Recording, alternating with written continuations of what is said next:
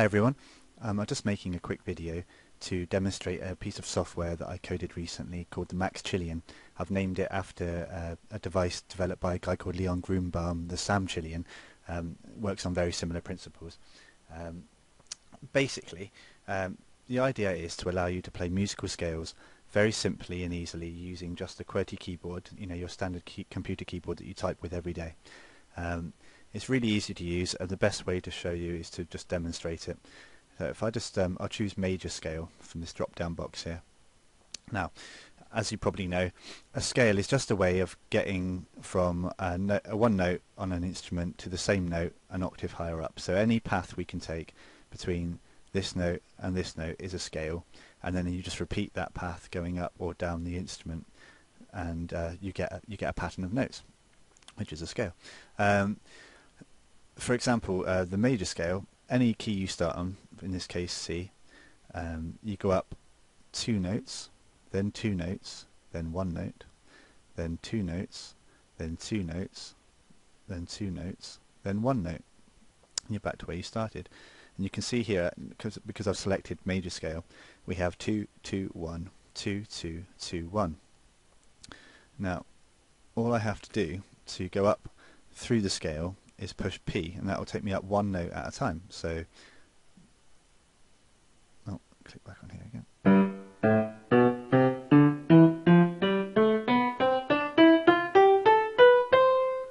And Q will take me down the scale one note at a time.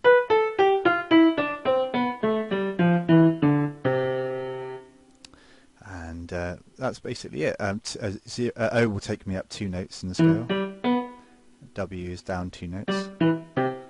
I is up three notes in the scale. E is down three notes in the scale. And you've got loads of different scales to choose from here. Um, the one I was playing with earlier was the blues scale. So that would, if we go up one note at a time in the blues scale, down one note.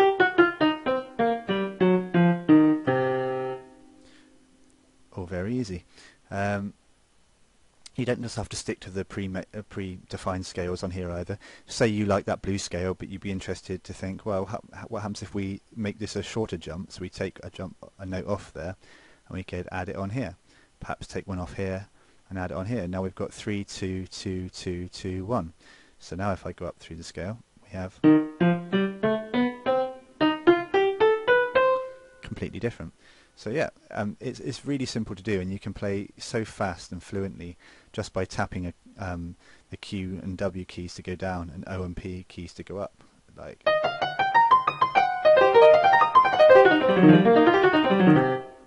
very very easy to do. So yeah, um, as you've noticed at the moment, it's just a piano sound. Now generally when you start the software up, it will be coming out of the Microsoft synthesizer if you're on um, on a Windows system or um, Apple synthesizer if you're on a Mac, and that will sound like a, a piano.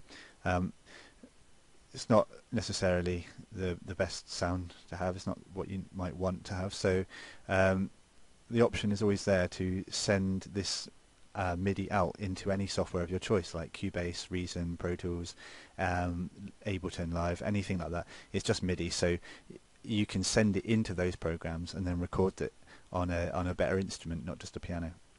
Um, you, you might link it up to synthesizers or samplers, anything you like really. Um, on an Apple that's very easy. All you have to do on a Mac, Apple Mac is to uh, drop down this box and there'll be um, an output called uh, uh from Maxchillian and then you just open Logic, load up a synth or whatever software you're using, load up a synthesizer, then choose from Maxchillian as um, your uh, MIDI input for that instrument um, really basic. But on Windows it's a bit more complicated because you don't have a virtual MIDI port by default.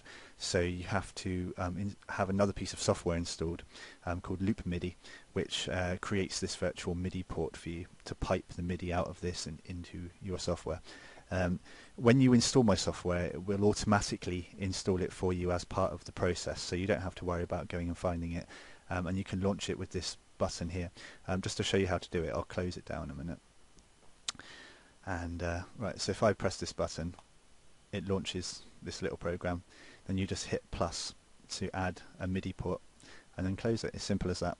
And then um, you have to close and reopen the um, the Maxchillian software, and um, then Loop MIDI will show up on the uh, on the drop down list. And you just choose Loop MIDI port, and then you nip over to your uh, software like um, Cubase or, or whatever it is you're using, and then load up a, a, software instrument. I've got Kontakt loaded up here, and choose Loop MIDI port as the input for that instrument, and then um, you're away. Really, that's it. You just uh, you just start playing, and um, you will get the sounds of that instrument. Um, uh, really, that's all there is to it. So um, I'll uh, chuck it out there for you all to play with, and let me know how you get on. If you have any problems, um, just give me a shout. My email address is on the about box here. If you click, um, that's my email address, maninthedress at hotmail.com. Um, feel free to drop me a line. Um, if you want a copy of it, just give me a shout either on there or via Facebook if you know me, and I will send you a copy. Um, that's it really. Alright, thank you for listening, and I hope you enjoy playing with it.